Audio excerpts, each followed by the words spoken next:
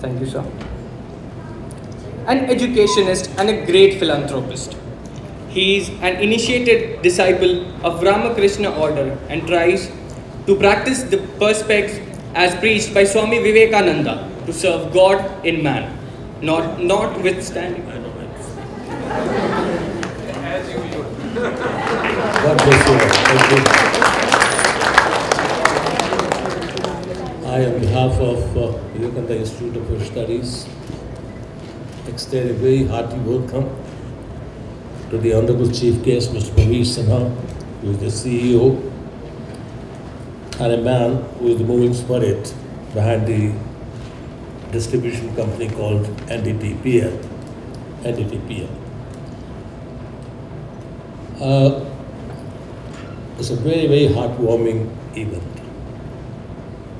And I'm really, I mean, for the first time in one of the, one of such events, I'm mighty happy that I, I- I'm really rejoicing this every moment that you have organized an HR meet of this magnitude, where eminent people like Mr. Praveer Sinha are there to share their wisdom and to lay a path for you as to how to trade on and how to be industry ready, how to be acceptable.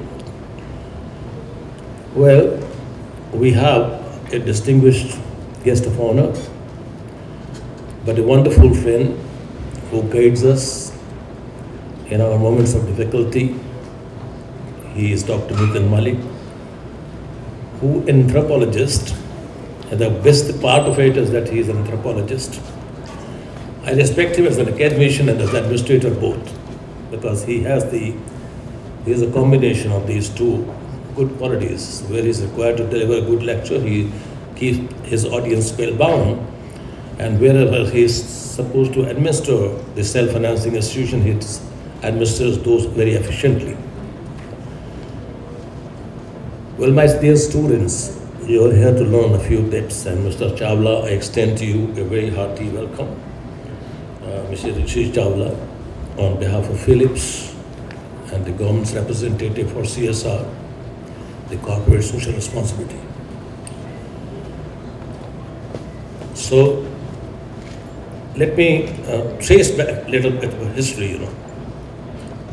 Yes, Divya, can you let, uh, let me know the name of the guest?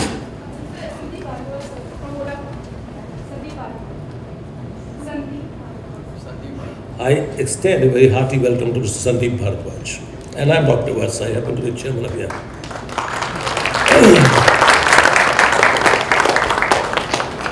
Well, I'm not new to the NDPL because uh, our love began in the year 2004 when the government of NCT of Delhi uh, privatized uh, distribution of the electricity in Delhi. And it was a very major decision because the AT&C losses at that time were 52%, staggering to 52% thefts were taking place.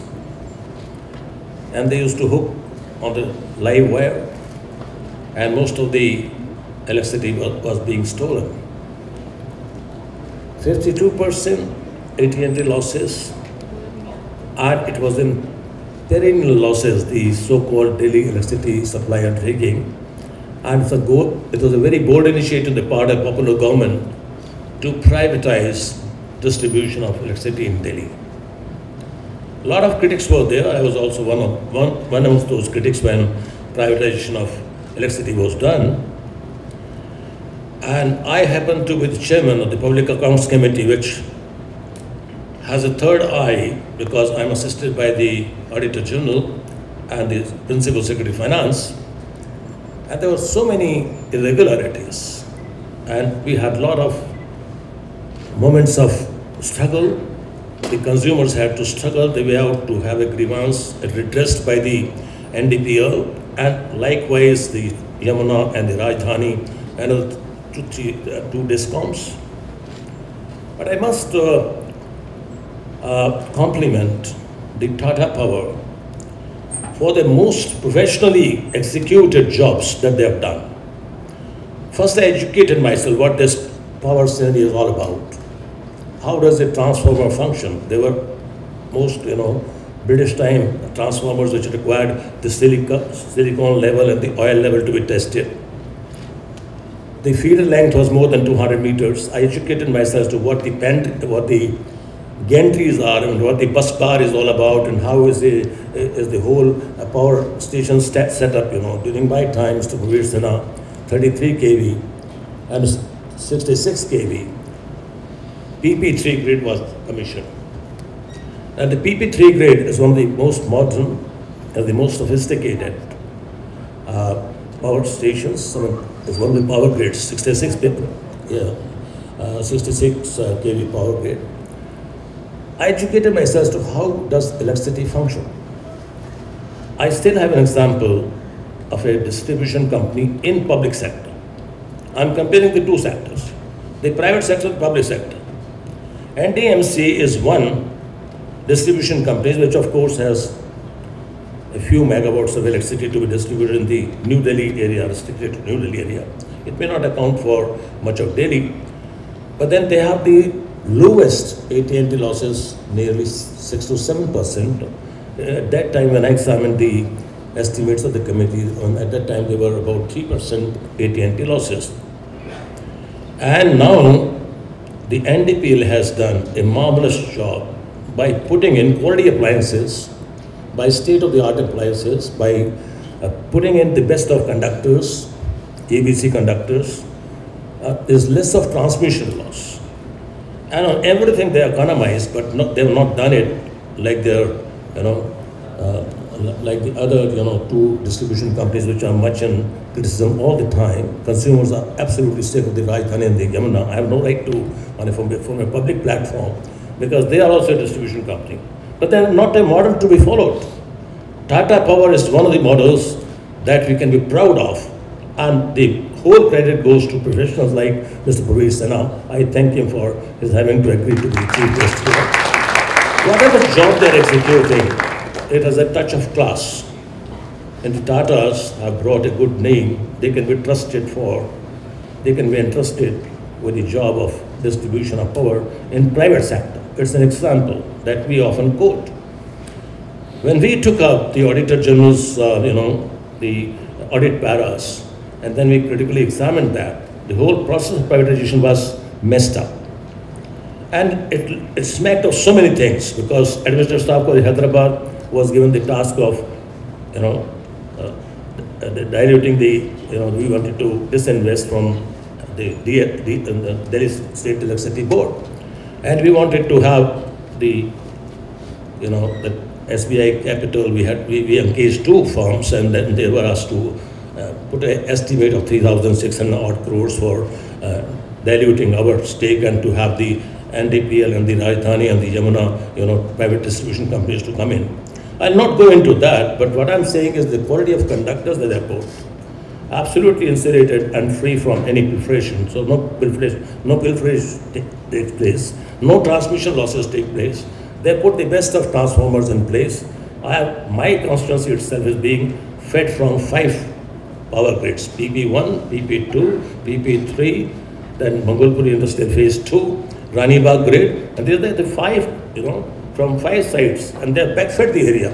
So that even if there's a there's, there's, a, there's a transmission error, they can take care from the other grid. So the power has become so stable in North Delhi that people have stopped using inverters and have, they have stopped using so-called generator, gen, gensets which used to pollute the air. So it's a, what a, it's a very, very uh, good experience uh, when Mr. Anil Sardana joined here as CEO. I mean, lot of, lot of, lot of, I must say. Uh, no, please remain seated. Nobody shall stand up. Kindly remain seated. Don't uh, create this, this kind of a oh, disorder. If one person comes, all of you stand up. Please sit down. Our chief guest is here. I'll not dwell upon that, but I will say that the NDPL has set up an example of having to do things professionally, efficiently, and they have really inspired confidence in the consumers and how fast is the redressal. I know if you call on the call center, the consumers' grievances are immediately attended to. They have set up an example, they inspired confidence in the consumers, and I must say hats off to Mr. Sinha for the efficient management that they are doing in the entire Northwest Delhi. Is thankful to them for having to provide the quality of power and they are, they are not as greedy institution also. They are not greedy power, uh, power sector. They, they, they have been very fair. When the D, it goes to the DERC, Delhi Regulatory Electricity Commission, they have been very fair in their accounts. Whereas the other party has messed up the whole accounts.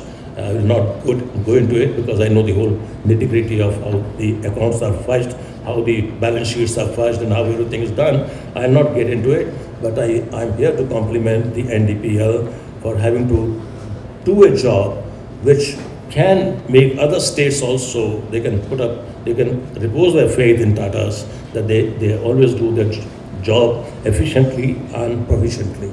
So thank you, Mr. Praveer Sinha, for having to consent. Our institution shall go a long way because we have set certain benchmark and the whole credit goes to a very young and a very inspiring faculty and they are full of uh, spirit. They will take it forward to the next century and I'm sure this institution will be on the, on the, on the map of this country shall be respected as one of the greatest universities. It's, the, that day is not far. It's my prophecy, and the prophecy is going to be materialized very soon. We are recognized under 2F. We are NAAC grade A institution, and our students have really brought laurels to this institution. I extend my hearty welcome to uh, the Vodafone Vice Chairman and Mr. Chawla sitting here. They've been kind enough to have spared their time. And last but not the least, my friend and our guide, Mr. Dr. Nitin Malik, who is very, very dear friend of mine, but he is in his own right. He is the university represent, representative here. He would have been a professor or the head of the department, maybe the vice chancellor. He soon he becomes. I always keep telling him, you don't deserve to be where you are. You deserve much more, and I wish him all the best. Thank you very much.